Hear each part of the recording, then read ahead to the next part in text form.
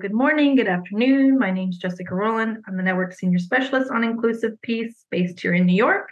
And we want to welcome everybody to the Network's Inclusivity Community of Practice. It's our second meeting of the year. And today we're covering the topic of synergizing peace tech inclusion and SDG 16 um, this is actually in connection to the ninth multi-stakeholder forum on science, technology, and innovation for the SDGs that is now uh, going on in New York as we speak for the next two days. So we really wanted to hear um, more about what's going on in the area of peace tech um, so that we could all think more about how to align it with inclusion in our peace in our um, peace building work. Um, it's very active online um, if you want to be using social media to tie it into the forum today. So the hashtag that I've been seeing for the forum online is hashtag tech four, as in the number four SDGs. I'll put it in the chat, um, but we can be highlighting um, our meeting during uh, to, to highlight and connect to the forum itself. But um, today we'll just as an overview of the agenda, we'll be hearing from some uh, experts working in the area of peace tech about their work or and, and, other opportunities and ways that people can get involved and, and tie it to what you all are doing. And then we'll have a q&a and then we'll um, do a, a quick breakout room session to hear from everyone else how they're doing peace tech in their work. Without further ado i'm going to turn it to our meetings facilitator uh, rashida i turn it to you. Thank you so much jessica. Um, hi everyone and what a wonderful welcoming remarks. Um, without no further ado, um, let's uh, welcome our project presenters and let's delve in into their um, impactful Peace Tech projects. Um, knowing that each presenter will be having around 10 minutes, and then I would invite the participants in the room to drop in their questions and then go for the Q&A. Um, and starting with uh, Peter Mbando, who is the founder and the executive director of Digital Agenda for Tanzania Initiative. Um, thank you for being here, and I would um, give the floor to you to tell us more about your work. Right, my name is uh, Peter Lusimbando. I'm the founder and the uh, executive director of Digital Agenda for Tanzania Initiative. Uh, it is based in Tanzania as a non-profit organization. Essentially, my organization is dealing with uh, uh, internet governance and um, digital rights.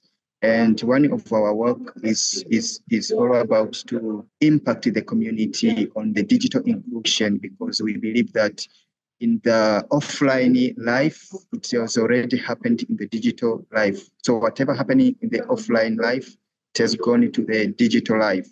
So in diplomacy, uh, our organization is dealing with uh, digital peace and cyber diplomacy. We are overseeing the dynamics and the emergence of new policies, uh, topics in diplomatic negotiations, uh, topics uh, including cybersecurity, data protection, privacy, data governance, e-commerce, cybercrime, and AI governance.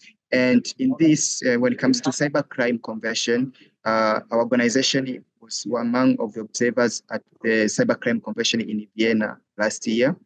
And uh, at New York, uh, our organization uh, uh, uh, attended the fifth session of the open-ended working group on ICT, which was formed by the UN Council since 2021. this was under the Fellowship of uh, European Union Cyber Diplomas uh, um, under the European Union uh, Institute for Security Studies. So uh, here we were we were discussing about the how we have been in, into the cyber uh, diplomacy, but we don't have a framework of the cyber uh, cyber the general framework of the cyber guide guidelines that can can get us uh, into peace As we can see that the hybrid there is a hybrid war right now, and there is no any any convention which is leading us into peace. On AI, on AI governance as well, we see that we are just receptors or users of AI, but we don't know or we don't have policies or frameworks. Essentially, when it comes to a global south, we are lagging behind on that. We are just users. So on the use of digital tools in the practice of diplomacy, essentially social media, online meetings like this one we are doing, uh, uh, conference, big data, and the AI analysis, there is no framework at all. Otherwise, probably uh, countries that were adopting GDPR, there are some frameworks like GDPR. Um, uh, in Tanzania right now, we have Personal Data Protection uh, Commission and as well as the Act. So these policies can change the political, socio-economic, and technology in which diplomacy is conducted. So uh, in the digital peace uh, and re redistribution of power in uh, international relations, digital foreign policy, cyber mediation, cyber conflict, digital interdependence, and sovereignty. We are engaged at the international level and the regional level. For instance, right now I'm at the regional level. I came for the United Nations uh, C CSCO meeting, which we are preparing for the Summit of the Future, which will be held in New York. I hope if we will get some partners who will be interested to support some of the uh, of the colleagues here, uh, it will be fantastic because all the framework that we are we are discussing here is the inclusion of the uh, civil society. Uh, because at the high level, only government states they meet, but how do we see ourselves on the ground? For instance, the peace uh, network, the peacemakers network. How do you see yourself on the upcoming, the future of the of the summit? Have you engaged? And for instance, today, uh, one of the topics we are discussing on on-site work, workshops was the sustainable um, development and financing. Uh, essentially for us, uh, in our part of international peace and security, uh, science, technology, and innovation in the digital cooperation or the global digital uh, compact. I'll, I'll, I'll give you the, the, I will share the link, the topic that we are discussing today in different uh, in different workshops. It's essentially uh, overseeing the, the topic of today, uh, which is also going, which is also um, happening in New York. And uh, I, I think that you shared earlier. I think my colleagues went through it. Uh, it's um, it's a, a, bridging, a bridging of of, of responsibilities that calling for the action. And it has been seen that there is a big skipping from the government, uh, uh, government or states on the implementation of peace, and essentially when it comes to the digital era, there is top down and there is no bottom up. So vertical communication when it comes to peace uh, negotiations and the other issues about technology is affecting a lot. If we could have a horizontal uh, conversation like this one, which there is no uh, top down, uh, there is only um, uh, there is no vertical vertical means of communication. There is only uh, engaging engaging the community, uh, engaging the society, engaging the states, a multi with I can call it multi multi stakeholderism, multilateral stakeholderism.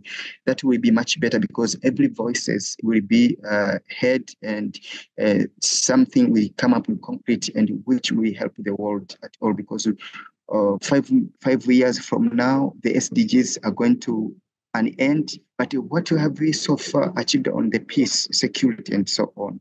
And on the partnership, what have we so far partnered to ensure that we reach the goal? So digital agenda uh, has been doing that, but under the 25 years, we have um, outreach, uh, STEM outreach. Uh, this I'm not going to touch it because it's just on the local level. But our initiatives are on our website, but I can share the link uh, later on. You can uh, just digest it from our activities uh, that we, uh, we have been doing in cyber diplomacy. And uh, at the regional level this year, our chairman uh, represented at the Cyber Agora. Please, the timekeeper, please let me know how many minutes I, uh, left I needed to talk just uh, shortly. Um, the Cyber Agora, the EU Cyber Agora, which is the multi-stakeholderism, which was happening in Brussels, is where we see the impact of um, of uh, di digitalization in Europe and the frameworks. So I would like to thank everyone. In case you have a question, uh, I, I leave it to the moderator. Then I'll be here waiting for for your contribution or question. Thanks for your attention. Thank you so much, Peter. Um, you're definitely on time. Um, I encourage everyone to look up uh, into the links shared um, and share their perspectives um, and questions for the Q&A afterwards. Um, very insightful. Thank you so much again. And now welcoming um, Michael Giovanardi, the project associate at the Global Peace Hub, part of the School of Transnational Governance. Um, thank you for being here, and the floor is yours. Hello, everyone. It's a great pleasure to be here. Um, as I'm sharing uh, uh, some slides, uh, hopefully you can see it. Um, I want to thank you for for inviting me, involving me in this uh, community uh, of practice. Uh, so thank you, Jessica. So I'm an academic, uh, come from academia. I work for the European University Institute, which is uh, an international organization uh, uh in higher education.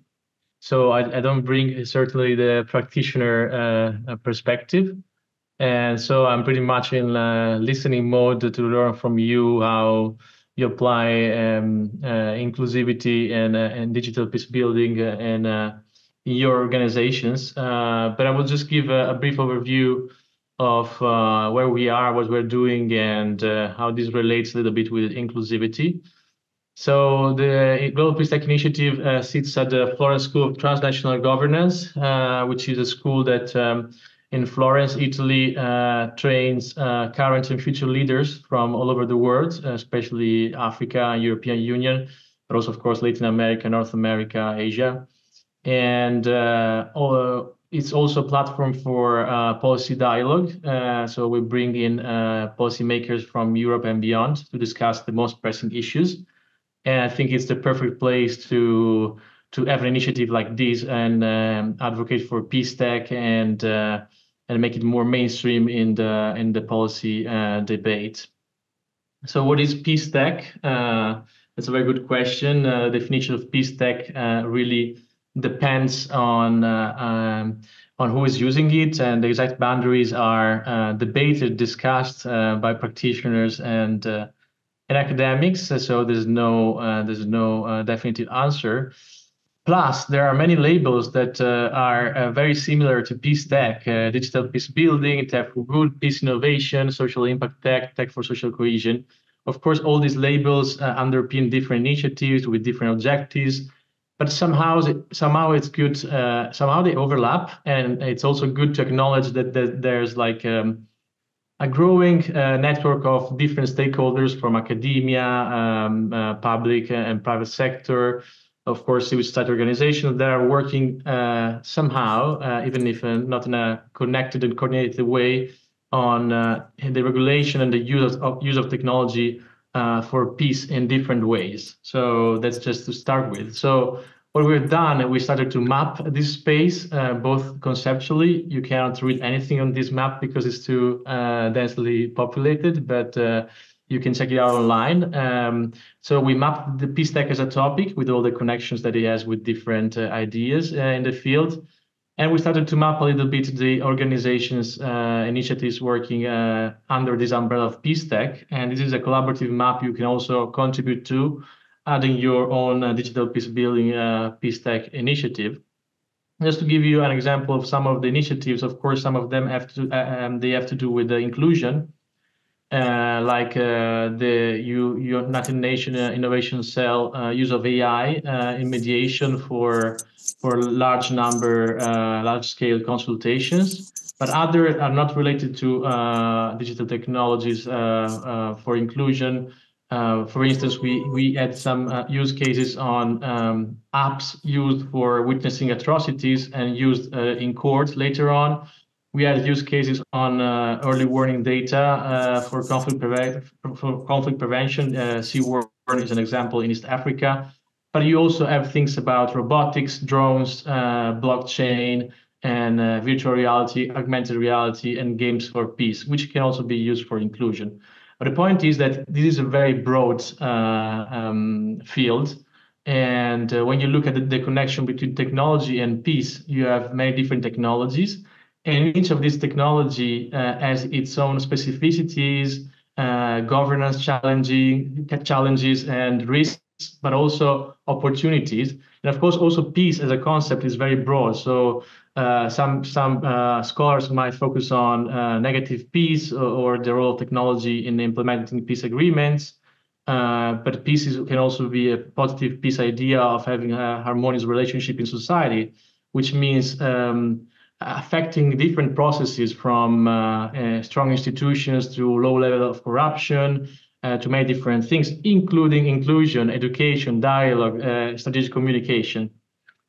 So what we do uh, in general is uh, two things. Uh, one element is research for sure. We beyond mapping, we're trying to analyze these initiatives uh, to build some uh, strong use cases that we can use as a policy recommendation and and uh, and a case for also public and private investors to know this case is out there it has been used, uh, it works. So uh, to bring more attention to, to, to, these use cases.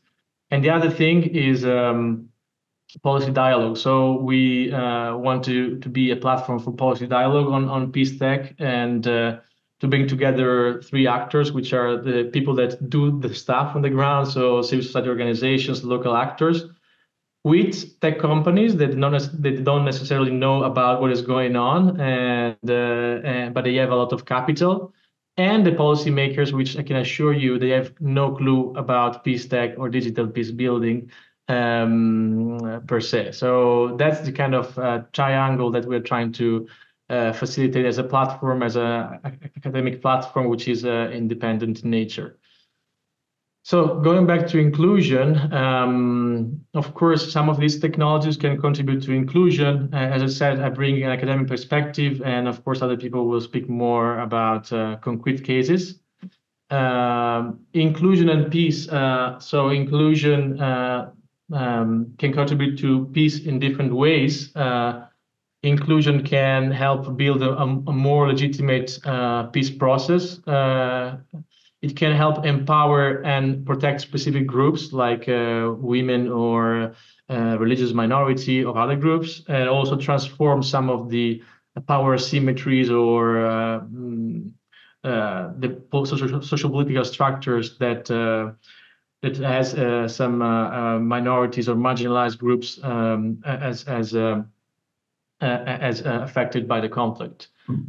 Um, you have many use cases. For instance, I mentioned this from uh, one another scholar of digital peace building, which is uh, Andreas Hirblinger. He studied this topic uh, thoroughly, and he he uh, listed uh, 14 or 15 um, different use cases uh, in the use of technology for inclusion in peace processes. You see many different things here, which which, which I cannot go uh, in depth, but of course, online focus groups, public digital consultation, uh, pooling to review and have feedback on draft agreements, and digital campaigns, etc., uh, etc. And I also want to highlight another internal example in our in our school. Um, one of our students uh, decided to focus his dissertation on digital peace building in uh, in Yemen, and it found different cases um, about that, uh, very relevant, I think, to, to our conversation. Um, uh, he, he, found about a social media dialogue platform like uh, Manasati 30, uh, which was also done in collaboration with the media outlet and uh, to discuss some of the pressing topics. Uh, you see Arabia Felix with the with the GIZ, with the German Development Agency, uh, there they use mobile games uh, for uh, to foster cooperation. You see uh, peace building courses on WhatsApp uh, from Safer Safer World. You see uh, the participation of Build Up that we have here today with us in consultation through WhatsApp, and also this um, AI-powered dialogue um, that I was mentioning before that, that was done in Yemen. So all these things, they raise different uh, sort of questions. Uh, inclusivity is a good thing, but it also comes with uh, with challenges, and of course also the use of technology uh, to promote inclusion and peace processes. It, it has its own um, challenges and, and issues um, that we can uh, discuss. And actually, the other thing I want to mention to conclude is that. Um, it's a kind of mantra that uh, we have uh, uh, among peace tech people, which is that tech solutionism is the enemy of peace tech. Um, it can be, you know, um, something weird to hear to hear first, but of course, um, we with the peace tech we focus both on mitigating the risks related to these technologies, but also to crucial to uh, uh, enhancing the opportunities. But when uh, devising this innovation, this application, and studying what the practitioners do in employing technology for peace, of course, we need to be aware that we don't have to be um, to have an impression of um, uh, yeah, we, we don't have to be uh, tricked by the fact that we we we we use technology to be more inclusive because in fact of course we can exclude also people. So we always have to combine digital technology of technologies of course with offline participation. And when we use these tools we need to reach out to the people where they are. Of course we need to use tools that they they are using. And there's a big risk risk of having this feeling or impression of inclusion while in fact uh, we are excluding people that don't have access to the technology, the infrastructure, the know-how, etc., etc. So what I would like to hear from you and uh, also discuss today is uh, this kind of balance between taking some risks, of course, in implementing these innovations uh, in in uh, in peace building using technology, because you have to take some risk, of course, uh, while still uh, keeping in mind this do no harm approach um, and so yeah that's that's something uh, i would like to hear from you that uh, you're doing the thing. And uh, and i'm happy to to be here and, and to listen from from your experience.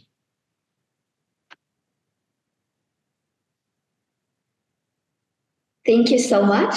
That was pretty interesting. You have introduced a lot of interesting concepts and definitely about the intersection between peace and tech. Um, I encourage everyone to drop your questions or insights regarding um, your presentation. And now we can move to uh, Julie Hawke, uh, who is the digital peace building lead at BuildUp. Um, and the floor is yours. Okay, so I um, work with BuildUp, who and I am very happy to be here today. Thank you for the invitation and thank you to fellow presenters, Peter and Michelle, uh, for setting the stage. So BuildUp as an organization is a, we call ourselves a digital first peacebuilding organization. We've been around since around 2014, which in a lifetime isn't that long, about 10 years, but in the world of digital innovation, we've seen many different eras of digital peacebuilding come and go.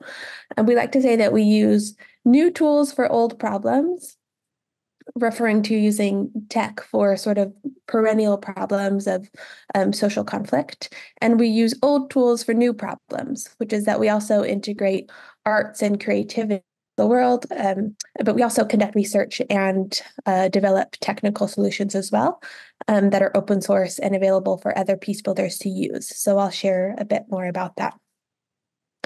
Um, this uh, alludes to what Michelle kindly introduced, which is that it used to be the case that we would think about digital technologies as just a tool. Um, it's just a tool that we can use for good or bad, and that they're neutral. Um, over the years, we've really come to understand that technology is not just a tool, it's not neutral. In fact, in many ways, it's tooling us. And that informs the types of approaches that we need to take to it in terms of understanding um, the real impact that it is having on conflict dynamics currently, and then working to mitigate those and transform them. So, why digital peace building? Um, our argument to this is that all peace building is and should be digital. We shouldn't think about this as a separate area of practice per se, but that it's one that we can mainstream into our existing peace building practices because we know that offline interpersonal conflicts are having an impact in online interactions. And at the same time, online interactions and digital spaces are reciprocally shaping offline relations and dynamics as well. And that's just talking about the sort of social aspect and not bringing to bear um, all of the additional um, ways of weaponry and offense that um, technical systems are bringing uh, in terms of warfare and sort of closing that gap between warfare and citizen warfare and the protection of citizens therein. And so, just to say that um, technology is sort of fully integrated now, and peace building should follow that lead in integrating it as well, not having it be a, a separate standalone sort of topic of interest, if you will. Um, Michelle uh, introduced some really uh, useful frameworks for understanding what digital peace building is. We've also we've um, typically used sort of these three functions to organize how we understand digital peace building or peace tech. Um, that there are these three functions of technology, and those functions can be used for peace building. Um, and so, therefore, we see projects about digital peace building fitting into these sort of three areas being either data and data management, where you can gather, analyze, analyze and visualize data differently, um, strategic communications, where peace builders are using communications to bring more or different people into the conversation and share information, or in dialogue and networking, which also includes sort of mobilizing as well for social movements. This is creating new spaces where people are able to coordinate and collaborate. On the flip side, though, these functions of technology also have their negative aspects, and these are the harms in which um, we are working to mitigate against. Um, at the same time, data is used for surveillance and and micro targeting and ways to manipulate individuals in order to create division. Uh, strategic communications are a source of um, or maybe not a source, a signal and as both a signal and a source of conflict where we see hate speech and misinformation and disinformation and the sort of strategic use of communications to um, increase divisions. And finally, um, towards our dialogue and networking, um, we're seeing that it's sort of closing down spaces for that, where we have a, a, a potential for increased connectivity. Um, we're seeing these being used as recruitment forms of recruitment forms for violence or opportunities for deconstructive dialogue, not constructive. We've been thinking about this in terms of a metaphor, and this comes from a, a policy position paper from my colleague Elena Puig-Larrauri, who has kind of compared polarization to carbon emissions, where if you can think of carbon or pollution as a negative externality of the industrial age, meaning that when a company goes to create, build chairs to sell, they're not meaning to create polar they're not meaning to create carbon. It's just a negative externality or it's a byproduct of what they're doing. In the same way polarization has been the sort of byproduct of our digital age and that's something that we're trying to get a handle on. So all of that is framing to say what we do as an organization. We have these four um, program areas if you will um, surrounding belonging and social cohesion. These are dialogue initiatives. These are initiatives that are um, bringing people together around common causes, mobilizing issues, initiatives, etc. Um, digital conflict drivers. This is looking at those harms that I had mentioned and mitigating those. Also creating a social media analysis open source tool that people can use to begin to mediate those in their own environments as well. Democratization and digital democracy. Um, this has been the injection of technical tools into deliberative spaces, whether that's formal elections or other decision making processes. Um, Michelle, in his um, conversation in Yemen, mentioned a consultation that we did using WhatsApp in Yemen. That's one example of this, but there are many others. Probably the biggest area of work for this is in Somalia. So I'm happy to share more about that. And then to kind of support all of this work, we do research and, and tech development. So just three examples, if I have time, of some of that work, and then I'll give you links where you can see the rest of it. Um, I mentioned that we are building a tool. This we call it Phoenix. It's currently a code repository, so it's an open source series of tools that peace builders can use to be able to do social media analysis. If you are trying to do things like understand or shift narratives in your community, or understand how these um, how key actors in your conflict are using strategic communications to further the conflict or the opposite. Um, this is currently a code repository, and so it requires either our support or you to have a sort of a technical person on staff.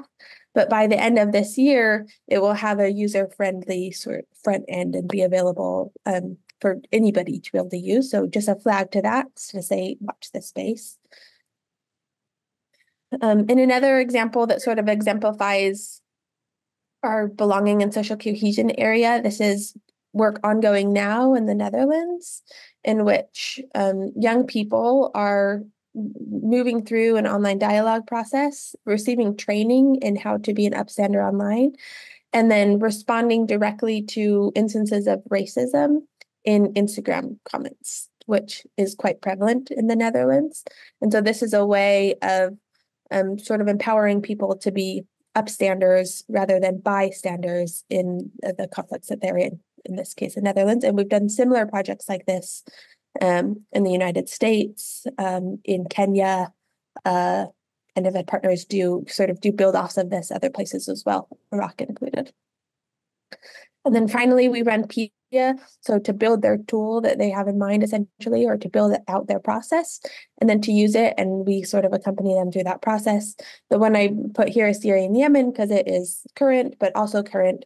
Uh, we have fellows in Burkina Faso and Mali and Mali and Niger and um, other places as well. So this is sort of a way of um, integrating technology into existing peace building practice on the ground. Okay, there's a, a few ways that you could get involved immediately and resources available to you. And I'll put these in the chat. One is the Digital Peace Builders Guide. This is our collection of sort of every instance that we know of that people have used technology in their peace building work. And we've organized it in a really innovative way so that you can sort of essentially go to the tool and say what your goal is and then find what tools might work for that goal. Um, so that's useful. We also have topical online trainings that are free on our website. You can take them online or via WhatsApp. Um, these trainings include Digital Peace Building 101 if you're brand new to this, but they also go into more depth if you are have a, a key area of interest. One of them, for example, was developed with the UNDPPA Mediation Support Unit, and it's um, about digital inclusion of women in peace processes. So that's kind of an example of the topical nature that you could find there. And then finally, we host an annual conference. It changes locations every year and it brings together these elements of peace building practice, technology, arts and creativity. Um, and I think is a really generative, fantastic space. This year will be in the Philippines. And so you're all more than welcome to join. This last year it was in Kenya. Um, yeah, and it moves. So if the Philippines is too far for you, then maybe, you know, watch it for the next year to see if we if it moves a bit closer.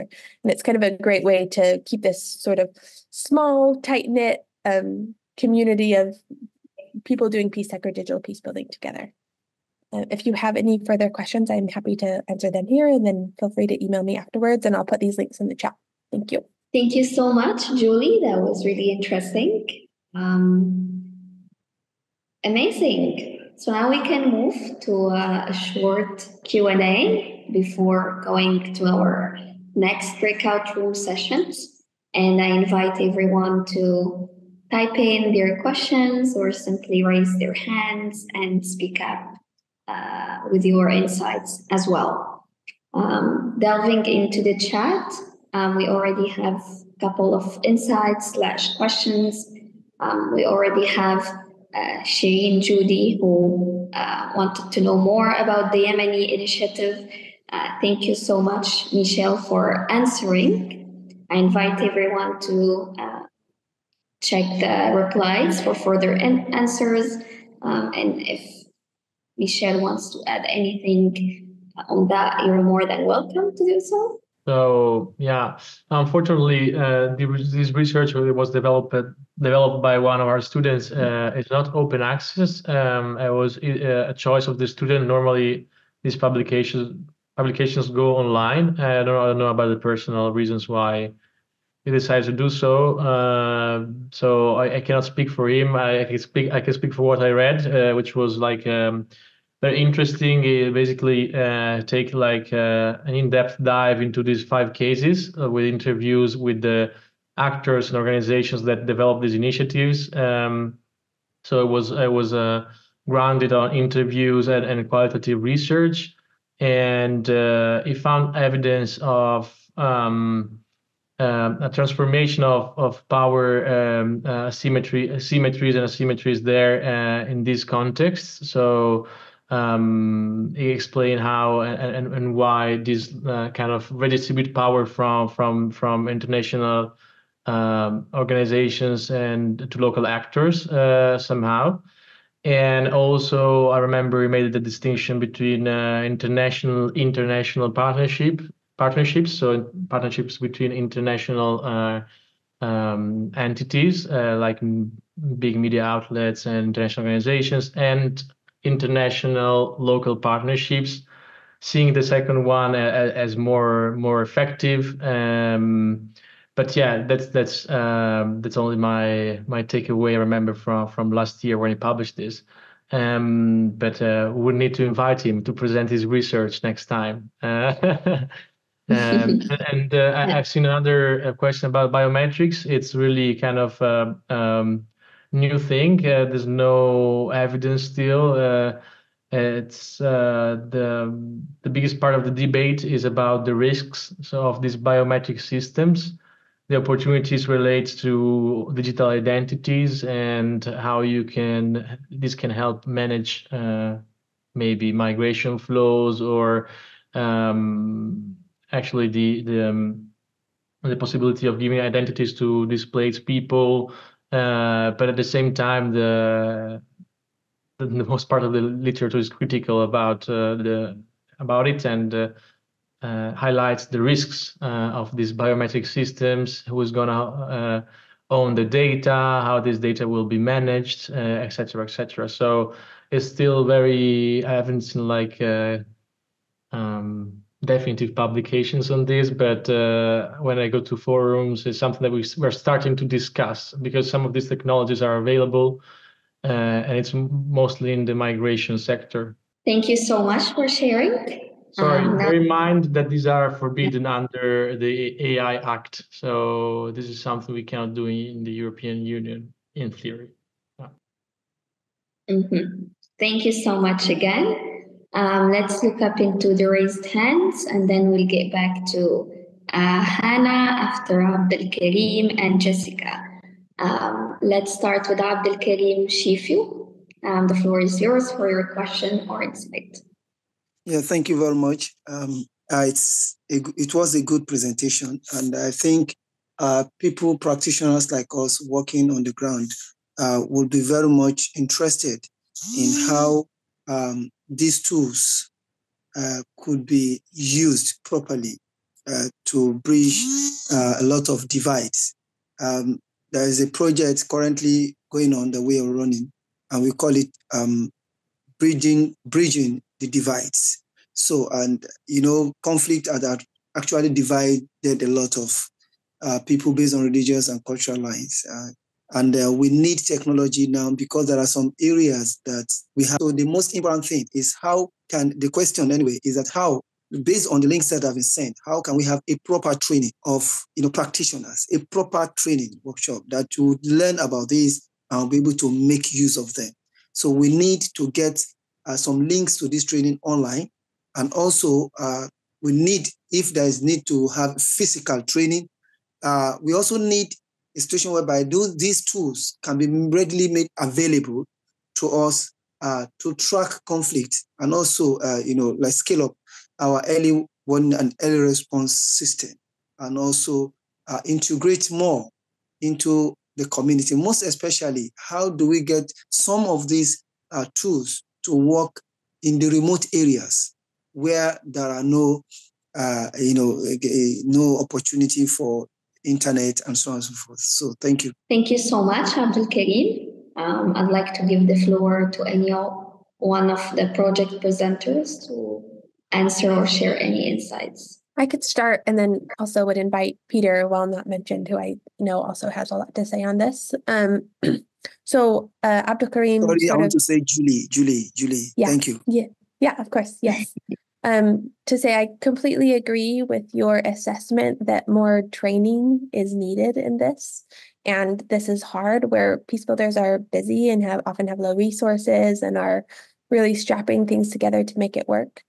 It's the reason why we've made training sort of a really key aspect of what we do. And so I would invite you to check out the free online courses. One thing that I think we did that was interesting is uh, make that the introductory courses available on WhatsApp in part, in large part, because of the ability to deal with low bandwidth environments. And so really people anywhere could access this training. And I know that that's just a small piece. Um, uh, but just to say, I hope you try it, and then we'd be really interested in your feedback to see whether that you know is enough or not or what is the next step after that and i'm just interested in working together to understand okay how then do we do the build on trainings into you know um, in person if need be or how we convene others uh, in your area as well. But that is a really common question about how can these tools work in low digital tech environments? And um, the short answer is that they can and people have been doing digital peace building in low tech environments for decades at this point. And so, yeah, it's just a matter of sort of connecting people to those existing examples so they can see what's possible. Anything to add, maybe from Peter? Thank yeah. you. Thank you very much. Thank you very much. So uh, I would like to speak about the utilization of the cyber diplomacy, essentially. Uh, right now, if you see that even the government itself is using e-governance, and uh, uh, some of the meetings that they are conducted, uh, they are promoting even the equity and equality of participation of women and persons with disabilities. Uh, however, uh, when you look uh, in the uh, global south, especially Tanzania, for instance, you can see that in the parliament we have more than one, 142 women who are members of parliament, but who are who, then they're doing really good work on the community. However, uh, due to the threats or uh, the threats of the digital digital platforms, uh, they cannot share their work because of the cyberbullying, cyber uh, hate speech, uh, cyber hacking, and cyber threats.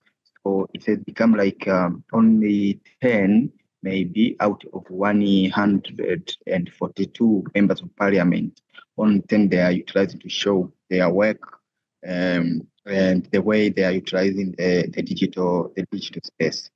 So uh, lack of information to their constituents, to their people, uh, citizens, it's very huge unless maybe in the uh, at the local level, but at the national level, we cannot know the other constituents uh, a member of parliament uh, is doing because they are afraid to be threatened uh, by cyber predators that we, we see in, in, in this in, in this digital era. So one thing I, would like to, to emphasize is that whenever we are doing uh, digital uh, or cyber diplomas, we should ensure there is a digi- digital security uh, training uh, and the dynamics of the internet we should also cope with it. Because if we are letting them like just use it for instance right now we are in this big platform right now but there are cyber predators we don't know they are looking for it maybe to to, to hide do anything as to ensure that maybe the meeting should not go on. But because of the security that we it has been enhanced, we we we we, we see right now that it's going on very well. So if we if we press the button of, of, of ensuring that hate speech, we bring the hate speech out in our platforms. We have policies that is uh, protecting women, persons with disabilities, protecting all, not only women, all of us, because we are all the digital uh, citizen, uh, uh digital citizen in, in, in, in this era, they are contributing more. Something very little can happen, and the global or the digital uh, journalist can just, or a citizen journalist can just uh, post in the social media, or they can just start a conversation so all, all of this uh, and the hybrid war and so on should come into the conversation that the tools that we are using should also be moderated and somehow uh, should be de- decentralized to ensure that there is they are used uh, amicably uh, and to ensure there is peace. Thank you very much for. Thank you so much, Peter. Um, that was really insightful. Um, now we can go to um, Hannah's question. Um, if and Hannah is part of the Outright International. Yeah, Hannah, Hannah is impressed by the incredible work and uh, work already with the LGBTQ population. Uh, Hannah wondering how do you see your digital tools as including LGBTQ communities and have um, already been examples of this. And another question um, for Julie. Uh, I wonder if there are any programs such as the one you mentioned in the Netherlands for addressing hate speech against the LGBTQ people. Yes, the short answer is yes. And uh, in reply to your message, I just put in some links. Um, we don't have great write up of this work, but it is happening. Um, a key example of this was we worked with Stonewall in the UK, essentially in how they were understanding like how to engage with the trans rights debate in the UK, which at the time was very heated, and their membership was quite divided. And so that is an example of work that I linked. Um, I would say uh, maybe like towards your motivation of your question that this is still happening, I think, less than other digital peace building work. And so well, I can point to a couple of examples that I linked in. Um, I don't know of, you know, a great amount that deal with that. So yeah, thanks for your question and hope those links are helpful. Thank you so much, Julie. Um, a lot of interesting resources. Any other insights? Otherwise, we can go with um, Yasmin, who has raised her hand. Um, let's see with uh, Zaidamin question. I wonder if your experience engaging or speaking with the fundamentalist group, how did you handle to speak with them, especially those who don't like to speak uh, of peace? In the meantime, I encourage everyone to drop their questions or raise their hands since we have some few minutes for that. I can try to jump into this. It's a really tricky question, Simon, so thank you for asking. Um, I think it depends on sort of who you're wanting to talk to and what your goals are for doing that. There are a number of there are a number of really great initiatives that um, work with kind of former extremists to then use those formers as credible messengers for current extremists or fundamentalists um, you could look at. I'm trying to think of just off the top of my head examples that you could look at there. Um, uh, it'll come to me, and if and if it does, I'll put a link. There's also been digital initiatives to kind of interrupt paths to fundamentalism or extremism. Moonshot, for example, developed this redirect method where if people searched on Google or searched on Facebook for um, sort of extremist groups, they would get a, a, a warning message that essentially said, like, you searched this, but would you rather look at this? And then they also did it on YouTube where people were watching sort of a a, a video that could lead people towards extremism. Um, then they're they worked with YouTube to sort of redirect their suggested videos afterwards to sort of pull out. So those are that's an example of one. Um, there are other cases um, where uh, gosh, I'm trying to remember who did all these. So, okay, so um, the Institute for Strategic Dialogue had a project where they did kind of one to one responses on social media and forums to also pull people out of extremism. And they have a great report about how they did that as well. Um, all to say that this happens and I think reflects the challenges of doing this also in offline environments um, though integrate sort of new ones, which is that um, uh, these people are often found sort of in different places and more underground uh, in the internet forums, etc. And also, it's kind of a key area of recruitment. So it's also a place of real importance that peace builders are learning about how to engage with in that space as well. So just a few examples off the top of my head, but I'm curious if others, yeah, have more to add. Thank you so much, Julie. If there's no other presenter would like to share, we can go to uh, and then to Abid Ali. Um, you have the floor to ask your question. Thank you so much. So my name is Jeronime Obwar and I come from Kenya. Um, I, I, I had I kind of like have a question uh, just regarding this digital tool. I agree it's a very it's a very good idea and uh, would really wish for more people to be receptive to the idea of just uh, using this. But I have a question, like uh, being that we serve uh, the community members who are, uh, let me say, some of uh, some of the target groups that we target are kind of like vulnerable and really want to get this digital tool to them. So how do we translate uh, this so they can get it so easy for them to consume and even use? Because we talk of matter space, so the community members are the ones who are um, they suffer, like they're the victims of, of violence and stuff. So how then do we get them to use this tool more? I mean, in a way that is so easier, like like it's us for getting it here, but then it's the community members that we serve are the ones supposed to benefit more than we benefit. So how do we get it to them? Thank you for the question. Um, let's give it to one of our presenters to answer. In the meantime, we have Abid Ali and then um, question from Jessica in the chat. Thank you so much. Uh, my name is Abid Ali and I'm a, a lecturer at Peshawar University where I uh, just teach uh, subjects uh, related to peace and conflict studies. my question is that there are certain social media apps that spread violence are like there is a TikTok live gaming where whenever you perform negative activities then uh, your live uh, uh, many members will watch you so such apps also um, uh, uh, destroy our society.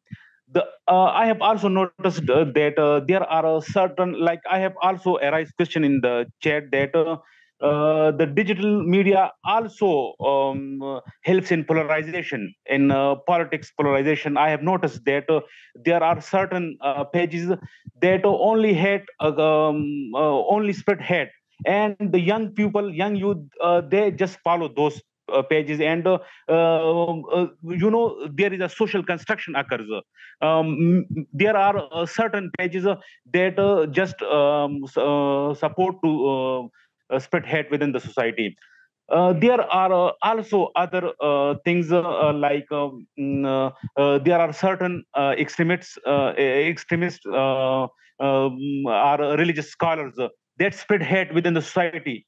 But if you uh, report that then um, many uh, days uh, uh it take like to uh, remove the that video that spread hate within the um, society so i think the within uh, the within the digital digital media we have to take notice on these things like tiktok live gaming where you can perform negativity then your um, members will go, grow and you are so we have to uh, uh, also control this kind of uh, apps too. Thank you, Abid Ali, for sharing um, your insight.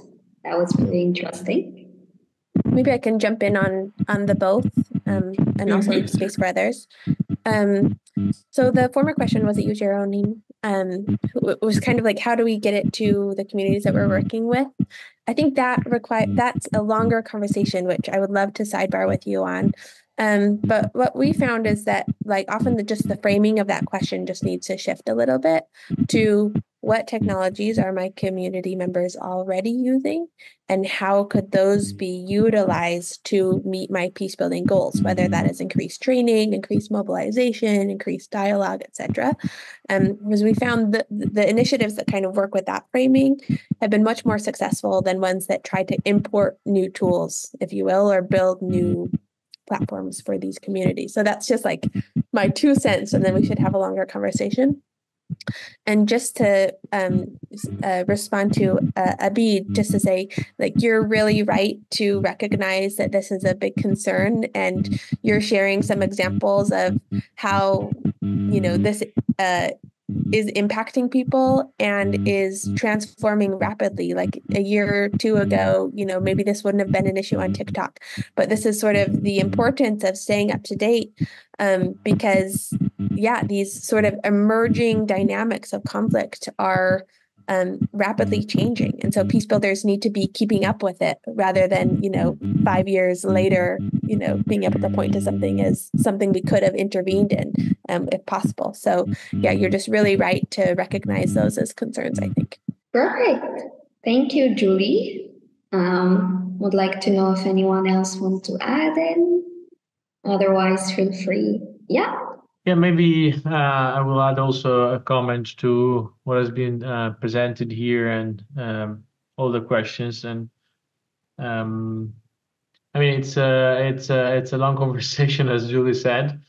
Um. But I've seen like some some it's also in the chat some ideas about you know uh, tech is not working. Sometimes it's making the process more complicated than it helps. So this idea that tech does not work per se, or sometimes it's it's a problem because we don't have the capacity to use it. Of course, um, uh, you need to be trained for that, but also, yeah, have the infrastructure to and and and and uh, yeah, the infrastructure to to use it effectively. So that's that's that's one idea but uh, to try like to to broaden this this this this perspective that that's true of course it's coming from from from your experiences. And uh, as answer to this of course i agree with Ju- with uh, julie that um, you need to work with the tech tools that people are already using and also digital peace building as an idea. It's putting the emphasis on, on the peace building part. So uh, on on on achieving the peace building um, objectives with the with digital tools, tools that you have, including low tech. Uh, which means all this innovative innovation AI might be uh, sometimes a bit uh, flashy but not effect- effective. Um, but at the same time, I would argue uh, from a non-practitioner perspective um, that there's like an upstream problem and a downstream problem. So the upstream problem is, you know, about how technology is designed and how this design can affect uh, our societies in a societies in a positive or negative way.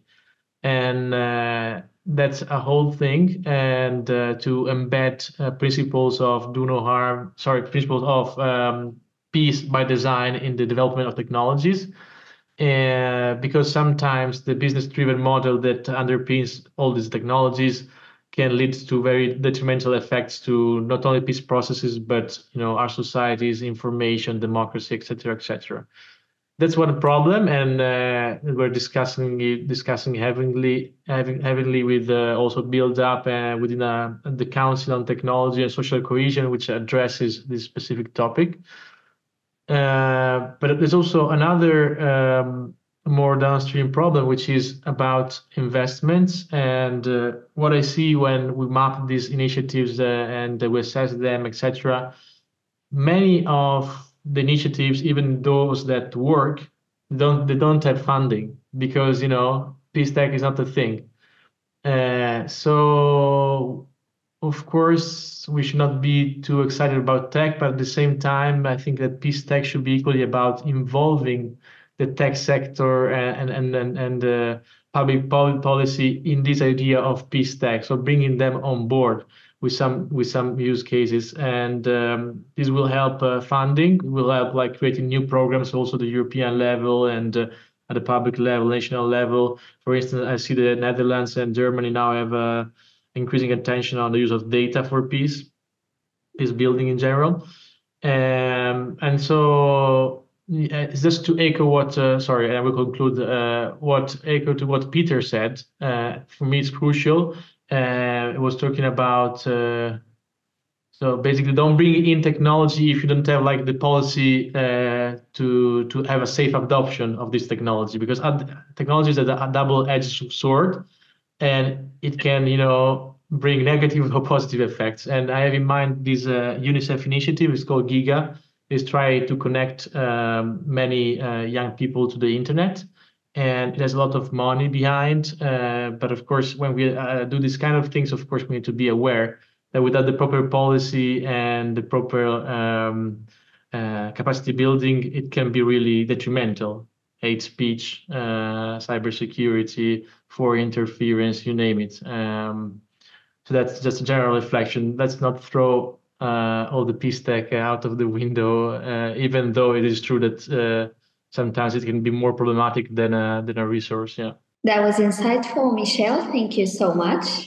Um, now we have a question from Jessica around peace mediation negotiation processes, um, saying that We know that digital mediation negotiation processes are increasing, but the problem that I see is that in the online space, it's harder to build trust between the parties.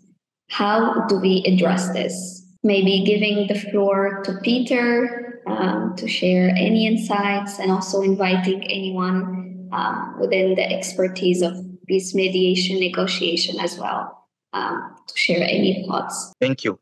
Uh, I would like to to emphasize on the representation of CSOs at the international level, uh, international level, meaning at UN, UN level and uh, regional level, that um, we should not stay down with our ideas, their innovative ideas, and so on, even if we are threatened by any kind of authoritative, because if you bring those ideas at the top of these bodies, international bodies, they are more uh, authoritative to push the agenda very easily uh, uh, to the to the state level, where state level sometimes they, they, uh, it's because of the illiteracy, uh, digital illiteracy among ourselves, including myself. Sometimes there are some tools, some things I don't know.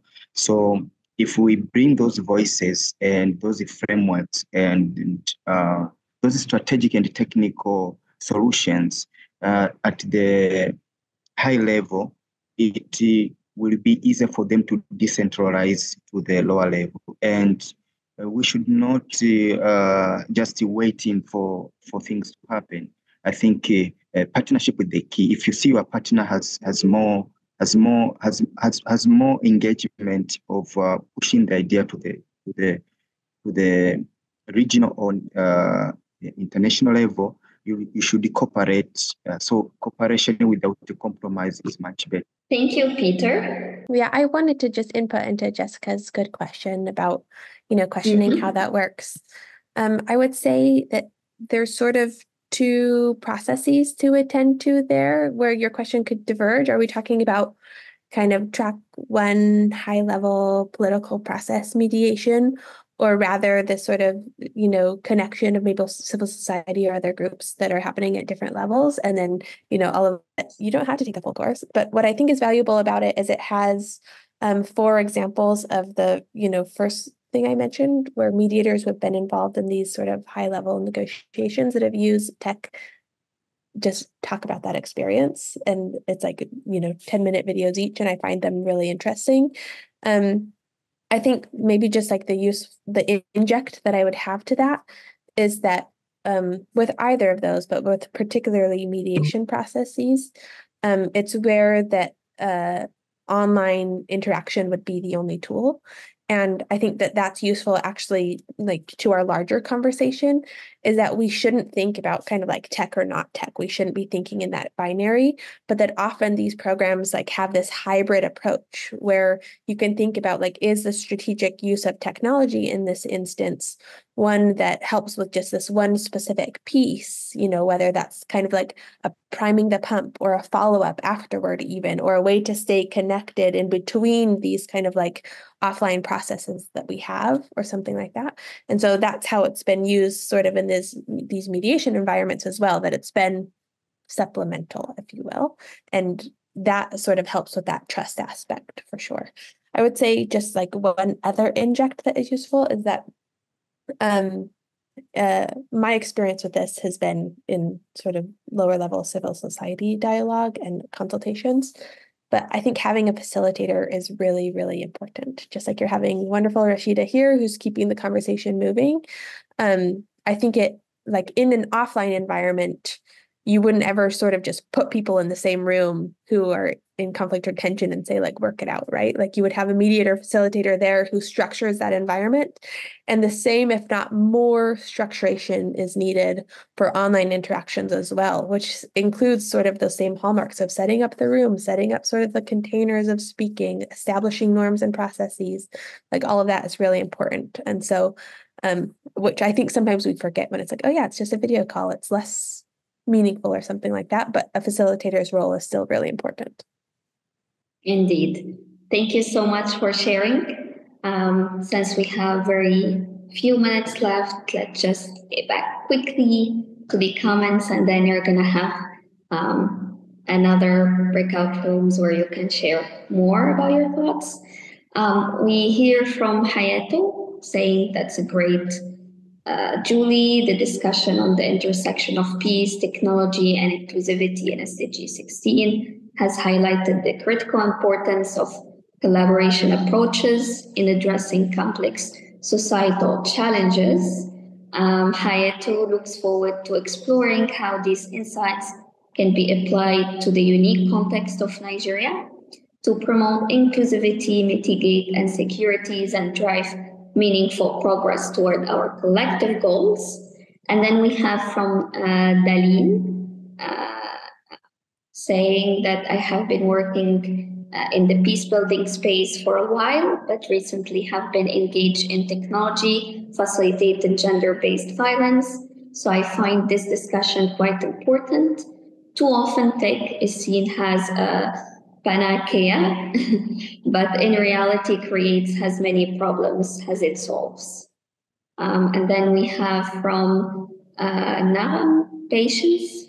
Um, thank you for the amazing presentation. I would like to know how we better strike balance between protecting freedom of speech and preventing uh, hate speech and online um, harassment.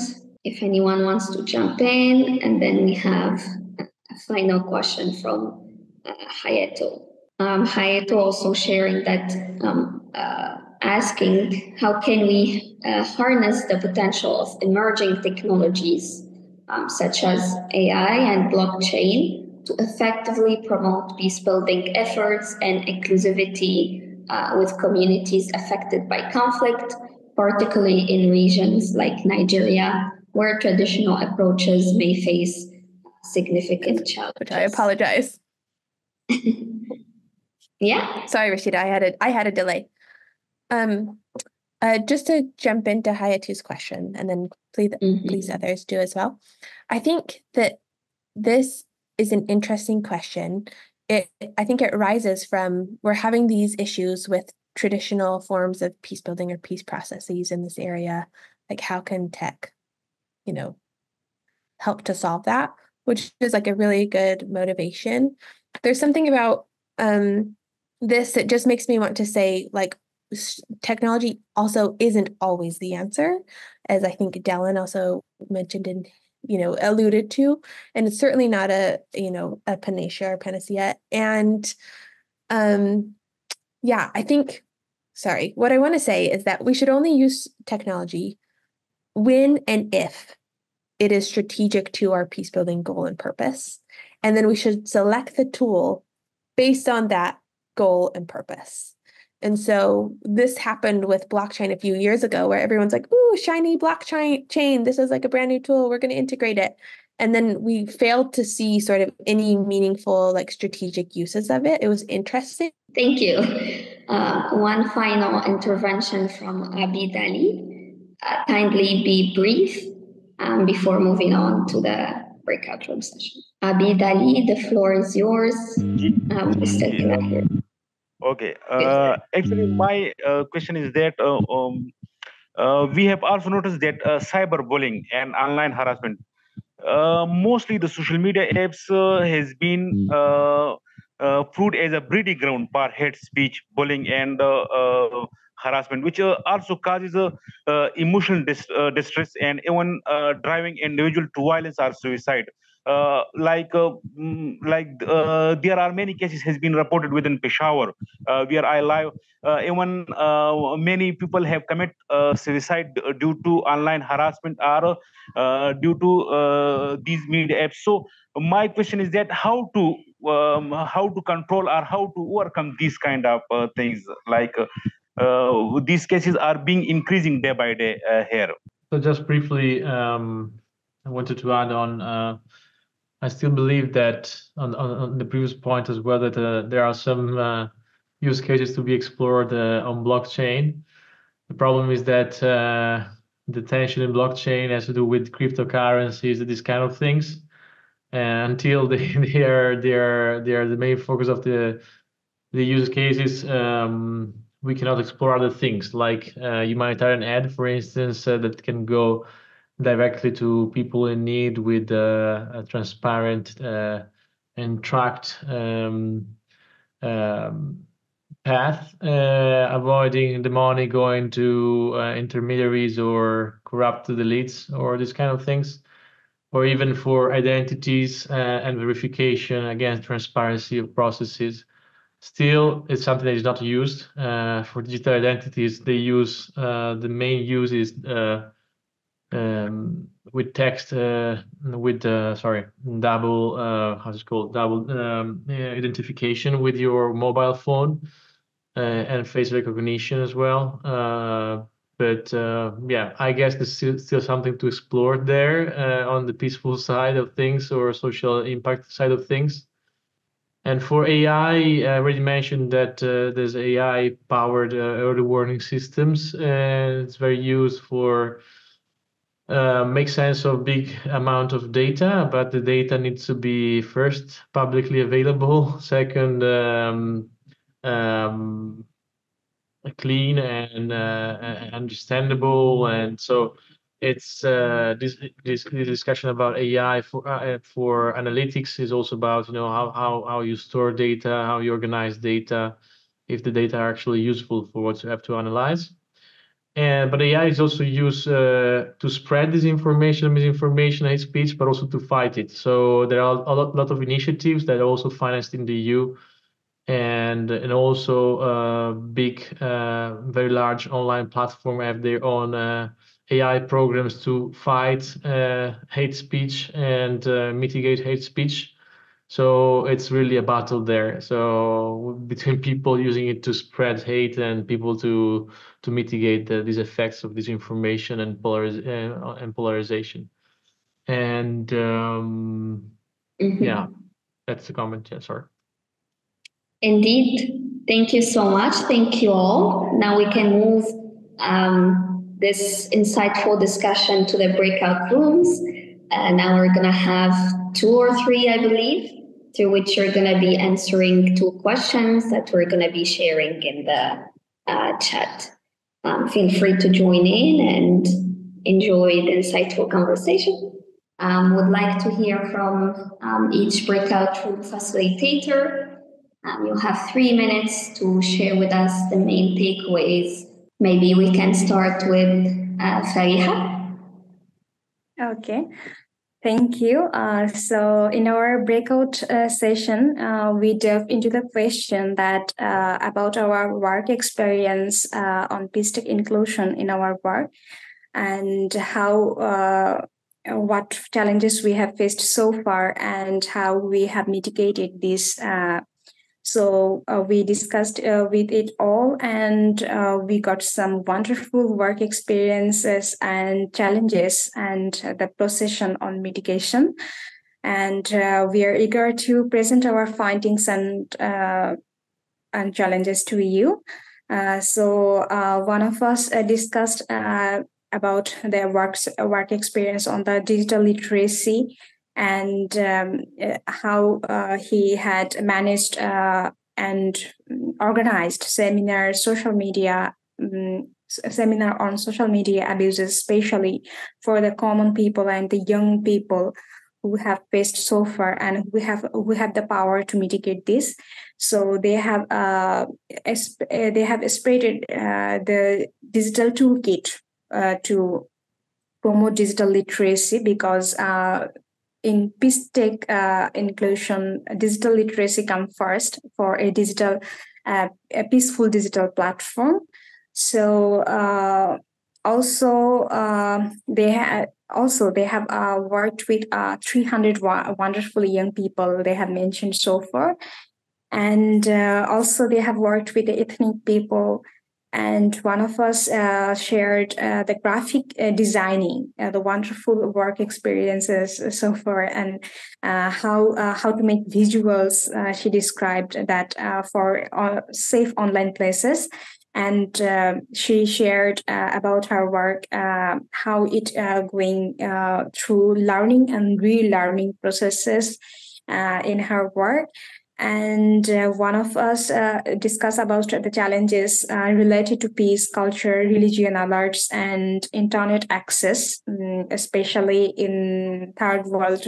Uh, this is must uh, that uh, internet access is not available for everyone. So this is the main. it is a very big challenge for us. We who worked in community people with community people uh, also, uh, one of us um, discussed about uh, how uh, inclusion can be a hybrid process, a hybrid uh, solution, uh, and uh, also the online concerns have discussed.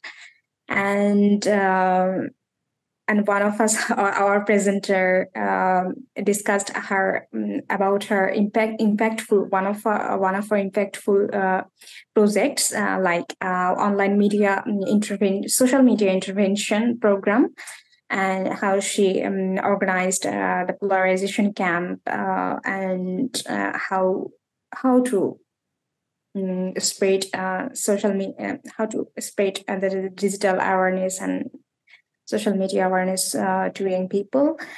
And uh, basically, we uh, discussed it and also uh, how the um, digital literacy and other thing that uh, how the young people can uh, put their effort on digital literacy and can can be able to make themselves uh, uh, take, uh, in uh, expert in this tech, this technology. so we have discussed so far on these topics, and thank you for listening me and from Group One and and a big thanks uh, from Group One to all of you. Thank you, Fariha. Um, that was really interesting to know, and I've been hearing a lot of um, interesting thoughts in the room. That was really um, fruitful and just amazing. um, now I would like to give the floor to Sara Rahman to share about um, her breakout room. Yes, thank you. Uh, so, breakout room two, um, we had really good conversations about um, how the work has been, in, or how tech has influenced work in both specific and in general ways, and then also some of the challenges they faced. Um, so, to start with, uh, one really fun uh, specific challenge, or one fun um, inclusive way that peace technology has been utilized is by transitioning a um, a physical library and allowing a hybrid library to accompany a physical library. So this was done in Somalia uh, alongside a website and app to make the peace section of the physical library more accessible, wide scale. Um, additionally, there's been tech and digital tools have been used to build awareness and map out areas to indicate safety, uh, while social media has been used to gather information and opinion polls. Um, so as a starting basis, and also as like follow through with uh, the steps uh, during the peace process. Um, online campaigns um, that have been used have been used to engage youth um, so tech has been used as a res- as a tool for resource and uh, knowledge gathering to further the interfaith approach. Um, specifically including youth with disabilities and dialogue. Um, so that's one specific way that it's been used in Indonesia specifically. So uh, also bring together youth um, by tech makes it easier to bring people together uh, to discuss developments of the region, playing a role in facilitating partnerships and communications within the region, again, looking at youth. Um, and then also by empowering youth to give necessary skills through trainings and enhancing critical thinking abilities and leadership skills. Um, so they were able to utilize technology again in training sessions, conduct online support and mentorship sessions, uh, sensitize the communities to digital safety.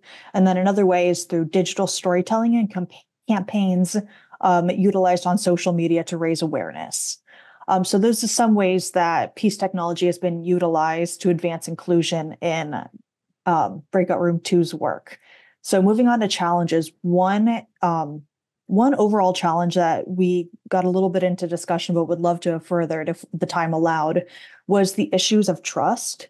Um, so whether trust can be whether tech can be used as an instrument to build trust, um, or if the trust needs to happen outside of technology and then brought onto online platforms. Um, so another aspect was a concern about um, the challenge of being censored by the government, but then also by other peace builders.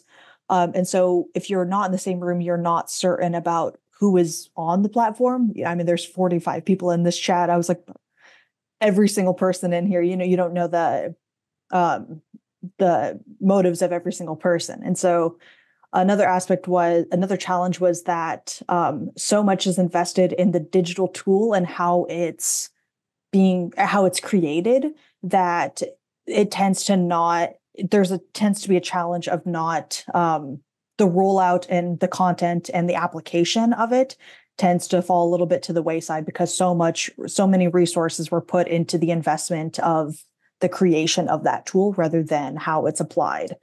Um, additionally the skepticism around digital space and opportunities due to widespread cyberbullying and hacking. Um, and then on just a basic level the issue of connectivity challenges um, and the less patience that comes with accommodating those challenges.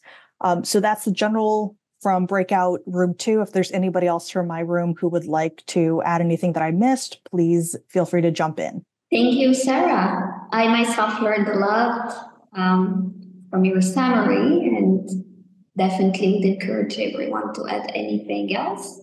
And I'll leave it um, for um, uh, Lily Buwili to share her Okay, thank you so much, uh, Rashida, for the opportunity to share the interesting discussions we had in our breakaway group.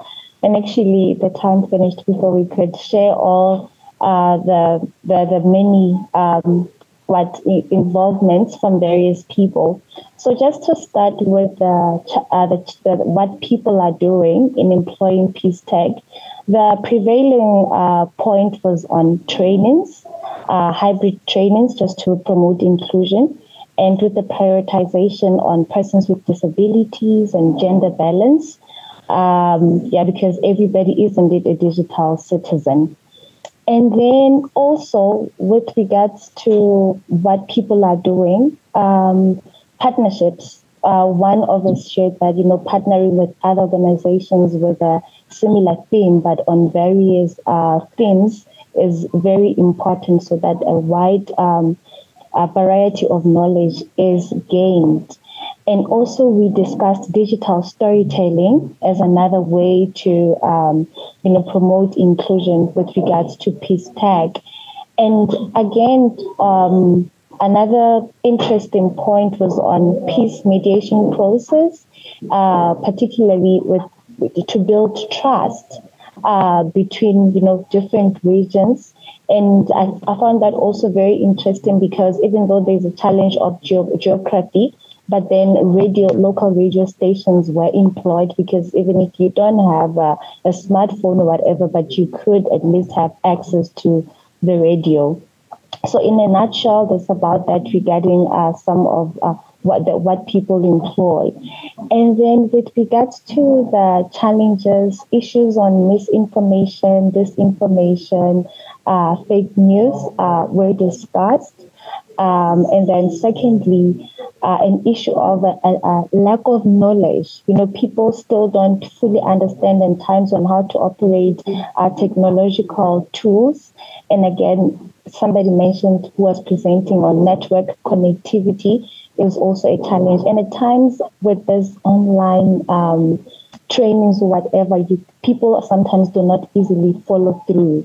So, so those are some of the challenges. And lastly, a lack of in- infrastructure such as uh, electricity in very remote areas. Then how do we, how do, what, what solutions have been employed uh, to tackle these challenges?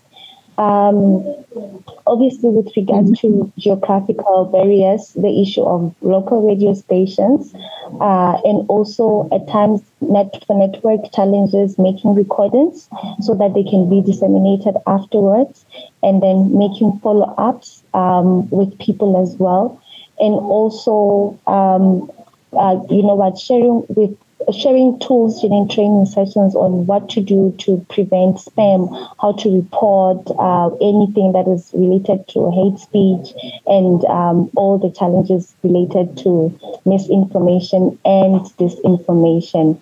And again, with regards to the solutions, especially as in earlier on, I spoke about peace mediation, is where like uh, young people are brought together, young people who cause distraction, they are brought together, capacitated with skills so that they can rebuild whatever uh, distractions they may have caused. So um, yeah. that's um, about that. And somebody in my group said that um, I think I missed out something. So I don't know if there's somebody who can add mm-hmm. on what I have missed.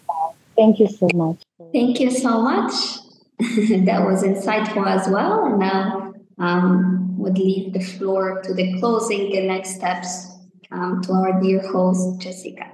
Thank you, Rashida, and thank you to all of our facilitators and our guest presenters for all of their wonderful insights today. Um, and then just looking forward to our next, uh, our third inclusivity community of practice, it's going to be focused on advancing the inclusion and rights of LGBTQ plus of faith in peace building efforts.